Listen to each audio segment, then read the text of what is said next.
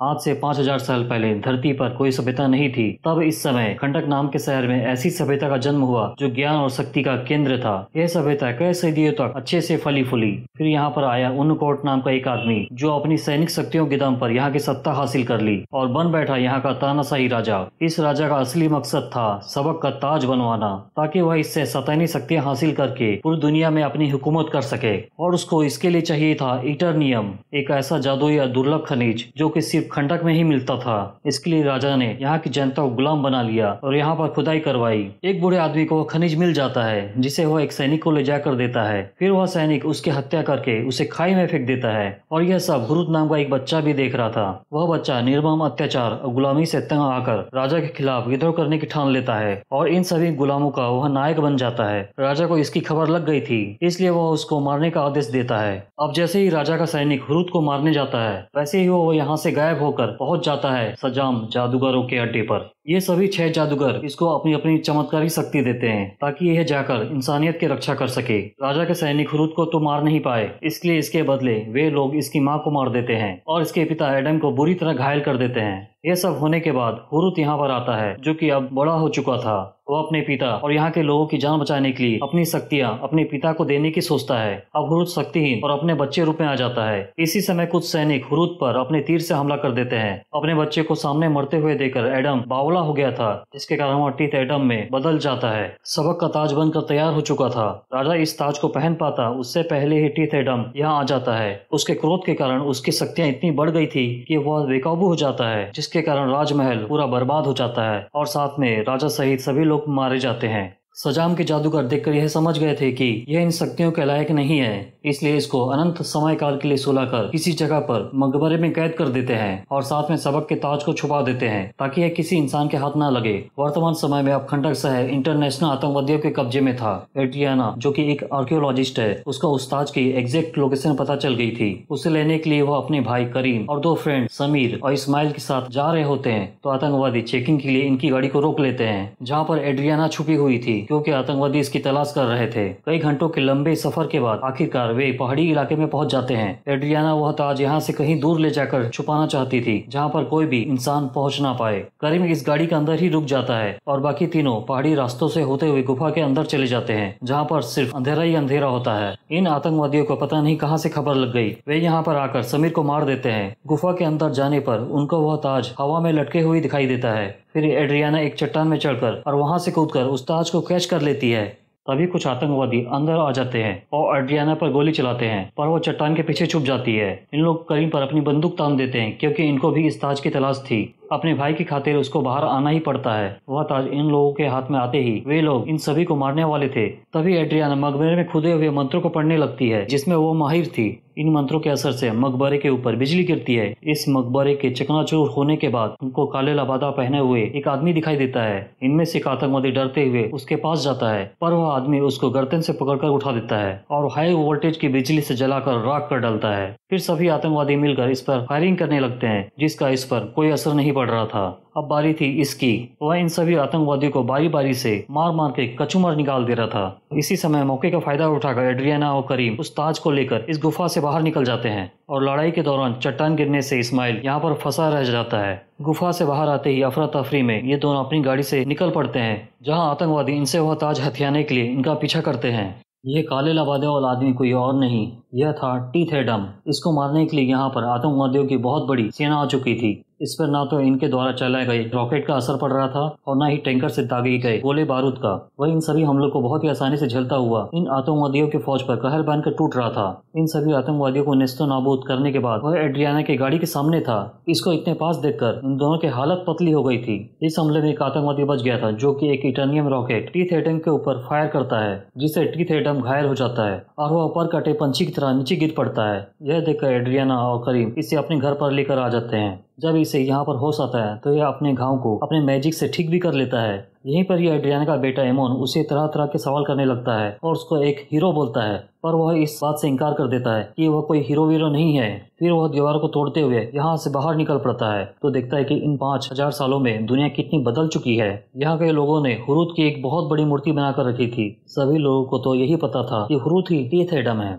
गुफा के अंदर हुए हमलों में इस्माइल ज़िंदा बच गया था। उसके फ़ोन पर बातचीत से पता लगता है कि इन सभी आतंकवादियों का लीडर यही था। और साथ में इस्माइल राजा अनकोट का आखिरी वंशज भी था। खंडक शहर में हुए हमलों की खबर एमेंडा वॉलेर को लग गई थी। इसलिए वह जस्टिस सोसाइटी ऑफ़ अमेरिका के लीडर हॉकमैन से कांटेक्ट करके टी एडम को हिरासत में लेने के लिए बोलती है। जेआईएसए के बाकी तीन मेंबर हॉकमैन के अड्डे पर पहुँच जाते हैं। जिसमें शामिल थे डॉक्टर फैट, जो कि जादुई कलाओं में माहिर थे, और साथ में इस हेलमेट के द्वारा वे फीचर भी देख सकते थे। साइक्लोन, जो कि हवा को कंट्रोल कर सकती है, और है एटम स्मेसर जिसकी पावर लगभग एंटमैन जैसे ही है, जो कि अपने शरीर को छोटा या बड़ा कर सकता है। अभी सभी हॉकमैन के थाना गार्डियन स्टार क्रूजर से खंडक शहर की तरफ़ चल पड़ते हैं। इस क्रूजर की बॉडी एंथ मेटल से बनी हुई थी, जिसको तोड़ना नामुमकिन था। एमोन जाकर एक आतंकवादी को जानबूझकर उकसाता है अपने को मारने के लिए, ताकि टीथ एटम आकर उसकी जान बचाए। फिर वह आतंकी उसके टकले में मारता है, पर वो लोहे की रॉड मुड़ जाती है। फिर टीथ एडम इन सभी आतंकवादियों पर अपनी लाइटिंग स्ट्राइक से हमला करके तंदूरी बना डालता है।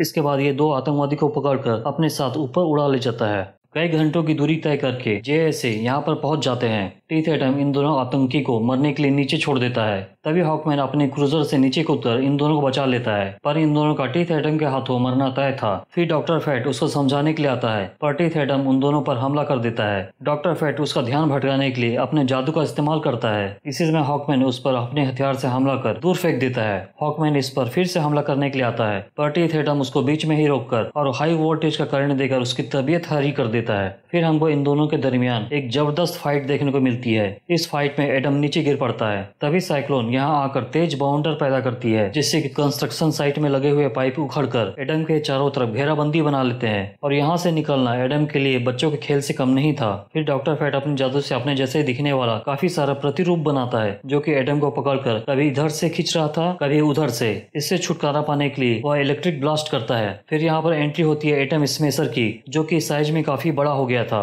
वह अपने एक ही पंच में टीथ एटम को ज़मीन के अंदर घुसेड़ देता है, पर वह उसको ज़्यादा देर तक रोक कर रख नहीं पा रहा था। यहाँ से निकलकर टीथ एटम एटम स्मेसर को घुसा मारकर बेहोश कर देता है और यहाँ से चला जाता है महल की तरफ़। लड़ाई के दौरान ही डॉक्टर फैट को पता लग गया था कि एड्रियाना के पास सबक का ताज है, इसलिए वह उसको अपने बेटे के हाथ में देकर यहाँ से भेज दी थी। डॉक्टर फैट, वह ताज लेने के लिए एड्रियाना के पास आता है। तब वह उन सभी को बोलती है कि, इतने सालों तक यह आतंकवादी हम पर जुल्म करते रहे और मेरे पति को भी मार डाला। तब तो तुम हमें बचाने के लिए नहीं आए? फिर एड्रियाना इन सभी को अपने साथ लेकर एडम के पास ले चलती है, आपस में समझौता करने के लिए। अब एमोन अपने घर पर पहुँच जाता है। तो यहाँ पर इस्माइल इन पर अपनी बंदूक तान कर वह ताज एमोन से ले लेता है। तभी करीम इस्माइल को दबोच कर पकड़ लेता है, ताकि एमोन यह ताज लेकर यहाँ से भाग जाए। इस्माइल छुटकारा पाने के लिए करीम को गोली मारकर घायल कर देता है और एमोन के पीछे जाता है। एमोन के ना मिलने पर वो काफ़ी सारे आतंकी को यहाँ बुला लेता है एमोन को पकड़ने के लिए। एमोन एक जगह पर छुप कर अपनी माम को यहाँ की घटना के बारे में फ़ोन पर खबर कर देता है।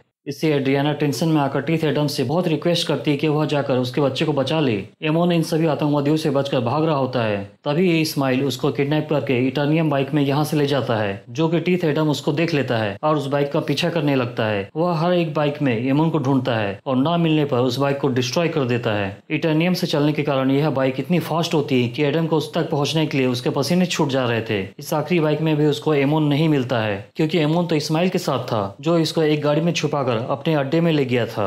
डॉक्टर फैट एड्रियाना के घर पर पहुँचता है और घायल करीम को क्रूजर में छोड़ देता है, जहाँ पर नैनो टेक्नोलॉजी के द्वारा उसको ठीक कर दिया जाता है। एड्रियाना के घर पर टीथ एटम के आने के बाद हॉकमैन दो आतंकी को लेकर आता है पूछताछ करने के लिए। फिर टीथ एटम इन दोनों को उड़ाकर एकदम ऊपर ले जाता है और एक को ऊपर से छोड़ देता है, पर दूसरा डर के मारे इस्माइल का ठिकाने के बारे में बोल देता है।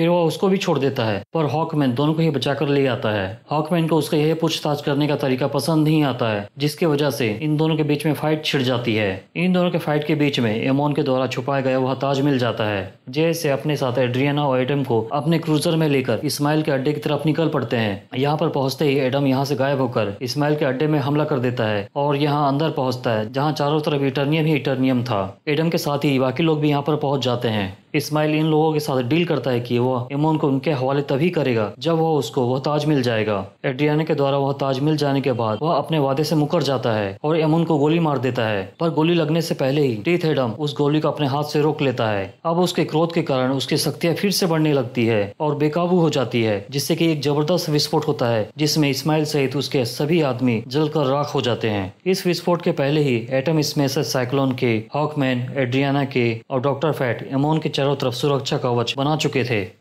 यह सब हो जाने के बाद टीथ एडम को अपने किए पर बहुत पछतावा हो रहा था। वापस आने के बाद एडम हॉकमैन को अपने बारे में सब कुछ बताता है कि यह पुतला मेरा नहीं, मेरे बेटे हुरुत का है। अब एडम आत्मसमर्पण करने की सोचता है। अब उसके सजाम बोलते ही वह वापस अपने रूप में आ जाता है। अब इसे बेहोश करके समुद्र के अंदर ले जाया जाता है। यह एक तरह की जेल होती है, जहाँ पर खतरनाक अपराधियों को रखा जाता है। इसको एक वाटर टैंक में डालकर इसका मुँह बंद कर दिया जाता है, ताकि यह सजाम ना बोल पाए। एड्रियाना और साइक्लोन उस ताज को उल्टा करके उसमें लिखी गए शब्दों को समझ गए थे। कि मौत ही ज़िंदगी की एकलौती रहा है। इसलिए तो इस्माइल ने इमोन को किडनैप करके मारने की कोशिश की, ताकि एडम आकर उसको मार दे, और वो वहाँ नर्क में पहुँच जाए, जहाँ पर छह शैतान इस्माइल को अपनी अपनी शक्तियाँ देते हैं, और वैसे ही वो ताज वहाँ से गायब हो जाता है। अब सबाक समुद्र से बाहर निकलने लगता है। इसकी खबर जे एस को हो जाती है, और वे इसके सामने आकर इस पर फायरिंग करते हैं। तो बदले में सबाक उसके क्रूजर पर आग बरसाता है, जिससे कि इसका एक हिस्सा समुद्र में गिरता है, और दूसरा मतलब कॉकपीट वाला हिस्सा शहर में जाकर गिरता है। अब ये फिर से आग बरसाने लगता है, जिसको डॉक्टर फैट अपने जादू के बल पर रोक रहा था। हॉकमैन अपने हथियार को एक फरसे में चेंज कर लेता है और इस लड़ाई में खुद पड़ता है, पर सबाक इसको उठाकर एकदम दूर फेंक देता है। यह देखकर डॉक्टर फैट यह समझ गया था कि हम इसे जीत नहीं सकते, और साथ ही उसने भविष्य में देख लिया था कि इस लड़ाई में हॉकमैन की मौत हो जाएगी।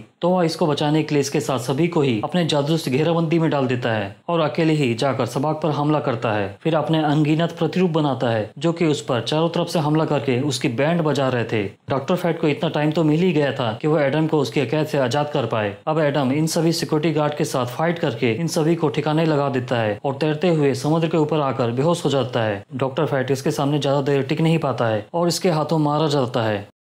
इसके साथ ही वह घेराबंदी भी हट जाती है और वे सभी यहाँ आ जाते हैं। फिर सभाग अपने सिंहासन पर बैठकर सभी गड़े मुर्दों को जगाता है। यह देखकर एड्रियाना और एमोन इसके साथ फाइट करने लग जाते हैं। फिर करीम भी यहाँ पर आकर इनको अपनी गाड़ी से कुचल देता है। यह तीनों मिलकर इन सभी मुर्दों से लड़ नहीं पाएँगे। इसलिए एमोन जाकर लोगों से हेल्प माँगता है और उनको यहाँ बुला कर लाता है। इन मुर्दों की फौज के साथ युद्ध करने के लिए। एडम भी अपने होश में आ जाने के बाद टीथ एडम बन जाता है और इस तरफ़ सबाक हॉकमैन की अच्छे से धुलाई कर रहा था और साथ में उस हुरुद की मूर्ति को एमोन पर गिरा देता है। पर टीथ एडम सही टाइम पर आकर उसे बचा लेता है। अब टीथ एडम सबाक के साथ भिड़ जाता है, जहाँ पर सबाक अपने सीने से उस पर आग उगल रहा था। तो दूसरी तरफ़ एडम उस पर लाइटिंग स्ट्राइक से हमला कर रहा था। पर सबाक उससे कहीं ज़्यादा स्ट्रॉन्ग था तब हॉकमैन उसकी मदद करने के लिए आता है और डॉक्टर फैट के हेलमेट का इस्तेमाल करके अपना एस्ट्रल प्रोजेक्शन बनाता है, जो कि सबा को इस पत्थर के सिंहासन पर ज़ोर से पकड़ कर रख लेता है। तभी टी थेटाम पीछे से आकर पहले तो इसका भेजा फ्राई करता है और फिर इसे ऊपर ले जाकर दो टुकड़े में चीर कर रख देता है। सबा के मरते ही ज़िंदा हुए मुर्दे भी राख में बदल जाते हैं। काम खत्म होने के बाद जेल से यहाँ से चले जाते हैं। टेथ एडम एड्रियाना को बोलता है कि खंडक शहर को राजा नहीं, एक रक्षक की ज़रूरत है और अपने आप को एक नया नाम देता है ब्लैक एडम।